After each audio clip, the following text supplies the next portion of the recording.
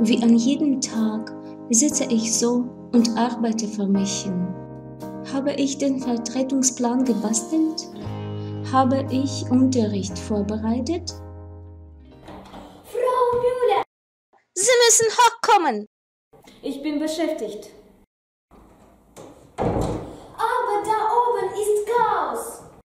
Sie prügeln sich und alles ist außer Kontrolle. Mein Blick geht zur Uhr. Die Klasse sollte nicht alleine sein. Warum müssen die sich jetzt prügeln? Das sind so tolle Kinder. Warum? Warum? Warum? Frau Mandarine sollte doch eigentlich da oben sein. Ist sie nicht da? Doch, aber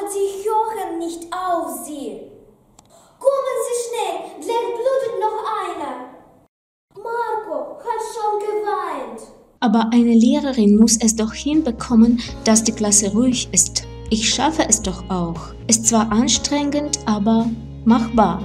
Und jetzt zwei Etagen nach oben. Ich will das nicht. Ich seufze, stehe auf und gehe. In meinem Kopf überlege ich mir eine Standpauke.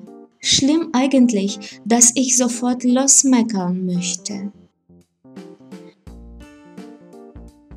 Immer müsst ihr, nie könnt ihr.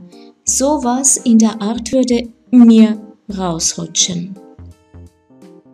Ich weiß es vorher, würde es aber dennoch nicht aufhalten können. Mit einem Rück öffne ich die Tür und sehe,